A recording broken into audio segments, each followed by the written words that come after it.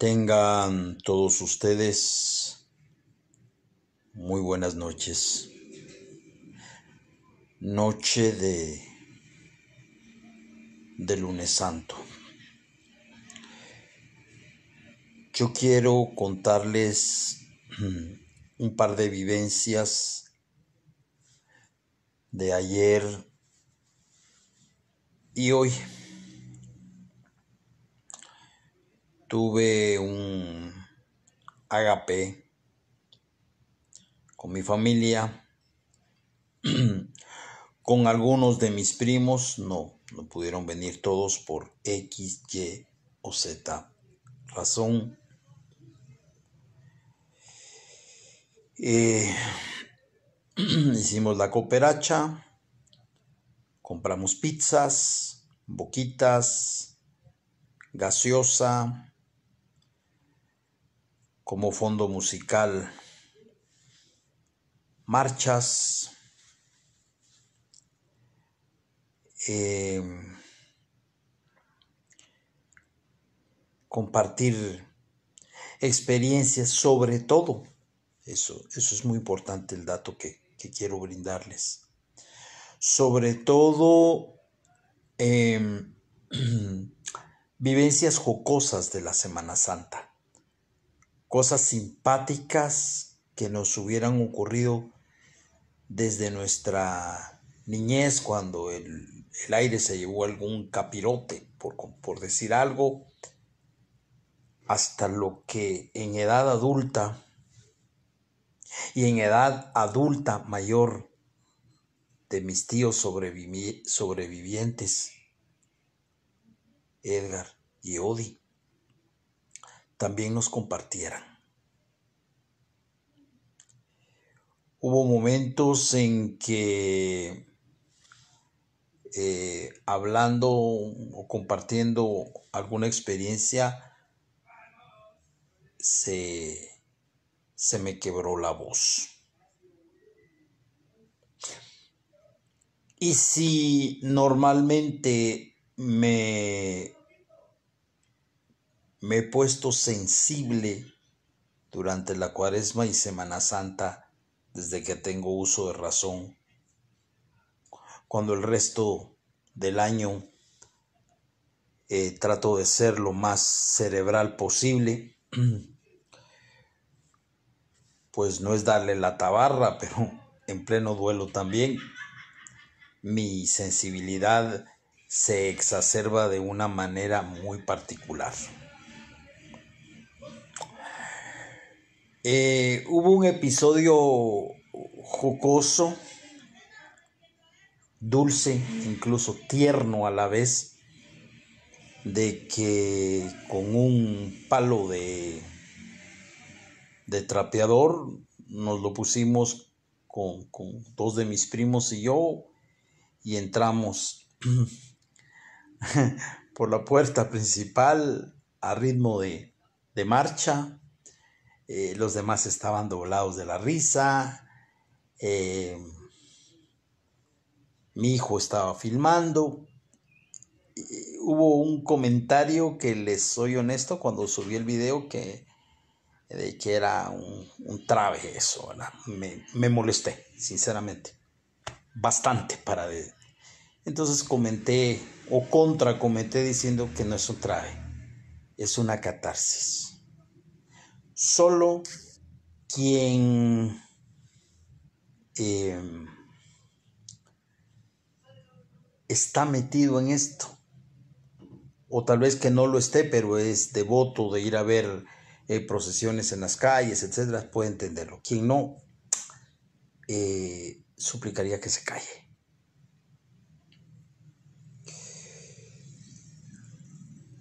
Eh, y entonces fue muy, fue divertido, pero emotivo a la vez, porque nos hace falta cargar. Nos hace falta cargar. Y bueno, eh, mi madre había dejado pendiente algunas cosas que en vida me dio instrucciones de entregar cuando ella ya no estuviera y ayer prácticamente se finiquitó todo, unos suéteres, unos CDs de marchas, etcétera, etcétera. Eso es lo que corresponde a Domingo de, Ramos. Hoy, lunes santo, em, tuve que hacer varias diligencias, las clásicas de fin de mes, ¿verdad? Depósitos, pagos, etcétera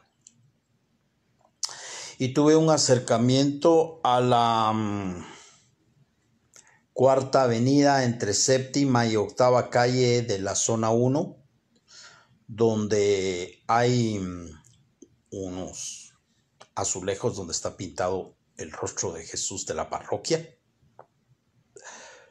porque allí estuvo la escuela de Cristo hasta 1884 cuando fueron expulsados. Y ahí se hace un homenaje precisamente en el turno de honor de los más antiguos, privilegio del que gozo desde 1999, eh, cuando cumplí el vigésimo sexto año de, de, antigüedad, ya después de haber superado en el 98 las bodas de plata. La gente pasaba y algunos se me quedaban viendo. Me hice unas fotos, hice un collage y se me empezaron a salir las lágrimas.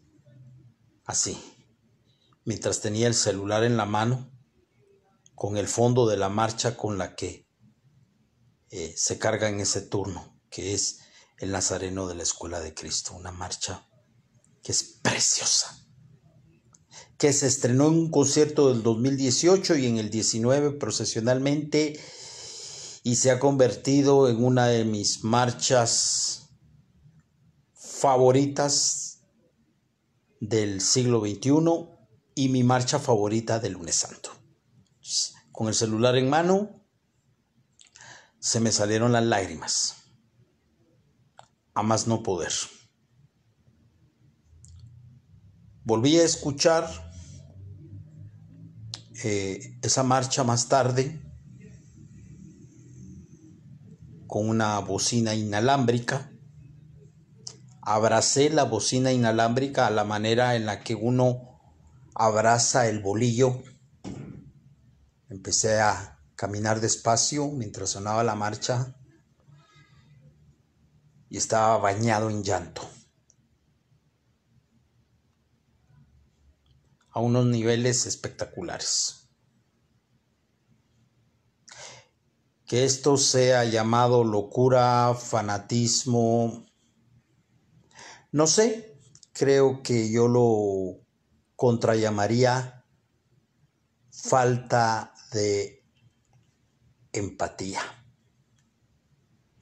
Es como que si yo me burlara de la gente cuando dejaron de haber partidos de la Champions por el tema del, del COVID y yo hubiera dicho, ay, ridículos todo por un partido de fútbol, ¿cuál es la fregadera? No. La gente que le gusta el fútbol, excuso decirles que a mí no me gusta nada. Pero no porque a mí no me guste, voy a juzgar de imbéciles y de idiotas a las demás personas. Como que no es por ahí la cosa. Entonces un poquito más de empatía y esto sí va con dedicatoria a quienes no simpaticen con las procesiones. Mejor hagan show. Entonces, em, quería transmitirles eso. Porque es segunda mm, Semana Santa sin procesiones. Ah, pero esta Semana Santa tiene matices y ciertas punzadas eh, que todavía el shock de 2020 no nos permitió asimilar, ¿verdad? Porque nos agarró en fly, como se dice. En cambio, ahora tuvimos todo un año para tratar de asimilarlo, esperanzados en que posiblemente iban a haber procesiones, pero no. Entonces ahora es, es, es más fuerte.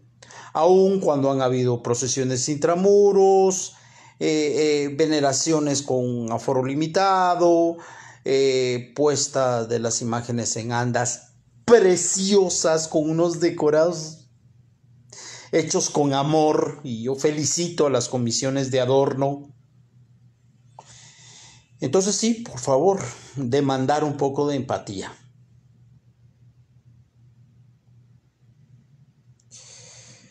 Necesitaba sacarlo porque eh, no me gusta quedarme con nada.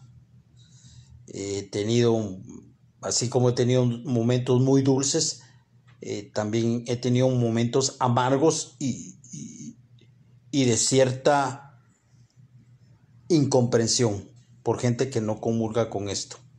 Yo hay un montón de cosas con las que no comulgo, pero me meto una cremallera en el hocico para no herir. Pediría que en el tema de las procesiones, en el tema de la Semana Santa, ocurra un poquito lo mismo. Buenas noches.